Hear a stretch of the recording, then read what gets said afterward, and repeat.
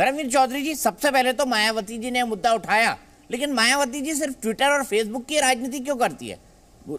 उत्तर प्रदेश के चुनाव हुए, उसके बाद मैंने आज तक एक नहीं देखा कि मायावती जी ने कहीं जाके सभा कर दी हो, कहीं जाके वो दलित समाज या कोई और समाज से मिलके आई हो। ऐसा क्यों?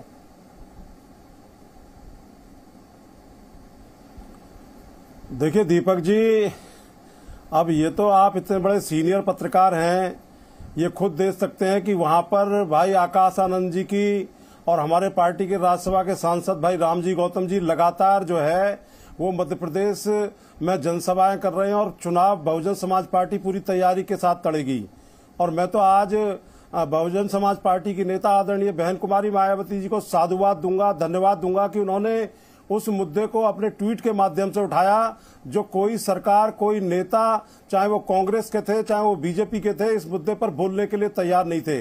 आदरणीय बहन कुमारी मायावती जी ने अपने ट्वीट के माध्यम से जब इस आ, इतने निंदनीय जो इतना घटिया किस्म का दुस्साहस बीजेपी के कार्यकर्ताओं बीजेपी के नेताओं के द्वारा हुआ और उसमें पूरे देश को संसार कर दिया कि आज ये देश लोकतंत्र सत्तर सालों में कितना मज़बूत हुआ है तो ये पूरे देश ने देखा, विदेशों में भी लोगों ने देखा कि कैसे जो है बीजेपी की मानसिकता वही पुरानी जो है सोच के कारण जो मानववादी और जो सामंतवादी और पूंजीवादी सोच के जो पोषक रहे हैं बीजेपी के लोग, उन्होंने कैसे एक दलित समाज के हक अधिकारों को, उसकी इज़्ज़त को तार तार करने का काम किया।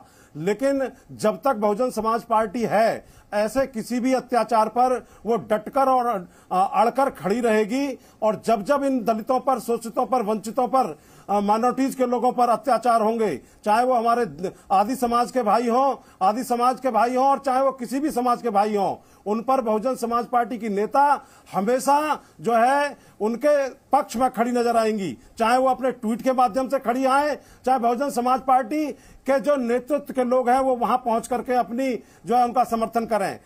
दीपक जी, आज जो कृत्य शिवराज सिंह चौहान जी ने किया है और आपने उनको अपने उद्बोधन में मोहन करार दिया और उस आदिवासी समाज के भाई को सुदामा कहा तो मुझे ऐसा ध्यान है कि भगवान कृष्ण और सुदामा के बीच में जो प्रकरण हुआ था, उसके बाद में जब सुदामा अपने घर गए थे तो वहाँ पर उनको एक महल भी बना हुआ मिला था। तो क्या ये जो मामा शिवराज सिंह चौहान है, इन्होंने उस परिवार के देखरेख के लिए, उस परिवार के भरण पोषण के लिए, क्या उस परिवार के बेटे को कोई सरकारी नौकरी दी? क्या उनके घर को बनवाने का काम किया?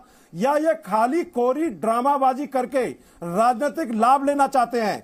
ये पैर धोने का काम तो प्रधानमंत्री जी भी करते हैं, लेकिन ये दलित समाज को ठगने का काम करते हैं।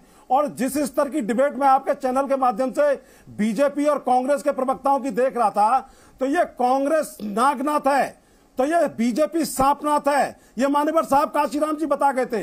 लेकिन ये दुर्भाग्य इस देश का कि ये बारी बारी से जो है सत्ता का हस्तांतरण करते हैं और इन दलितों के, शोषितों के, वंचितों के ज़मीन को, पेड़ को, उनकी इज़्ज़त को तार तार करने का काम करते हैं और उनको इस सत्तर साल के लोकतंत्र के महापर्व में जिसमें अमृत काल मनाया जा रहा है, उसमें ये ऐसे प्रकरण भी जनता देख, जनता को देखने को मिलते हैं। और एक आदिवासी समाज का बेटा, एक दलित समाज का बेटा जो अपने आप को पूरा समाज अपमानित समझता है, ये कांग्रेस के शासित राज्यों में और बीजेपी के शासित राज्यों में ही होता है। चाहे वो एनसीआरबी के आंकड़े मध्य प्रदेश को दर्शा रहे हों और चाहे वो एनसीआरबी के आंकड़े जो है राजस्थान को दर्शा रहे हों, ये दोनों कांग्रेस की सरकारें और बीजेपी की सरकारें क्या ये ये दलितों पर आदिवासियों पर शोषितों पर वंचितों पर क्या ये कोई प्रतियोगिता करना चाहती हैं?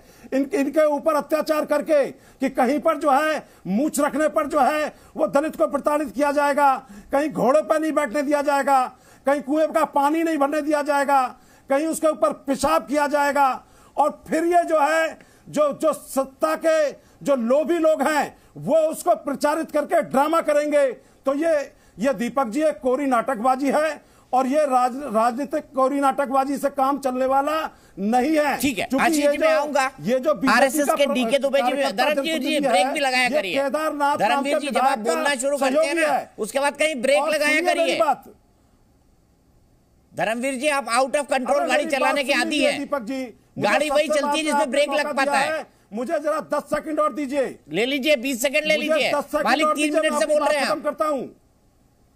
मैं ये बताना चाहता हूँ कि इसी सीधी ज़िले में यही जो प्रवेश शुक्ला नाम का व्यक्ति है इसने जो है अपने साथियों के साथ मिलकर के पुलिस ने बर्बरता पूर्वक वहाँ पर कुछ पत्रकारों को और कुछ रंगकर्मियों को साल डेढ़ साल पहले थाने के अंदर नग्न अवस्था में पीटा था।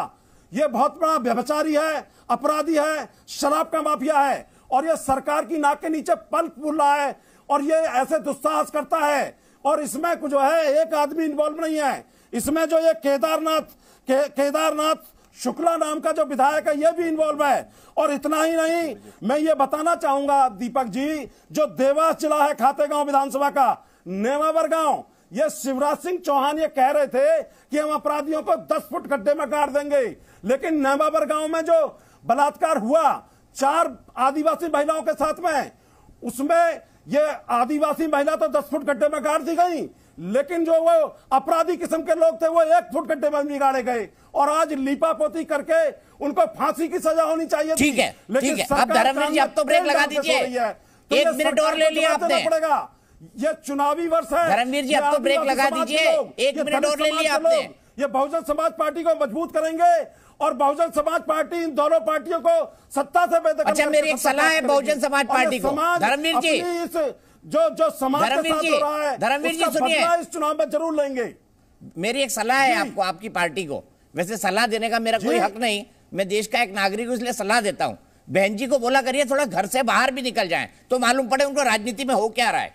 ये ट्वीट और सोशल मीडिया की राजनीति मालिक अब नहीं चलती। डी के दुबे जी मैं आपके पास आना चाहता हूँ बहुत ही गंभीर सवाल के साथ आना चाहता हूँ। गंभीर सवाल ये है कि आरएसएस ने आदिवासी वनवासी परिषद के तौर पर सबसे ज़्यादा काम किया है मध्य प्रदेश के आदिवासी क्षेत्रों में।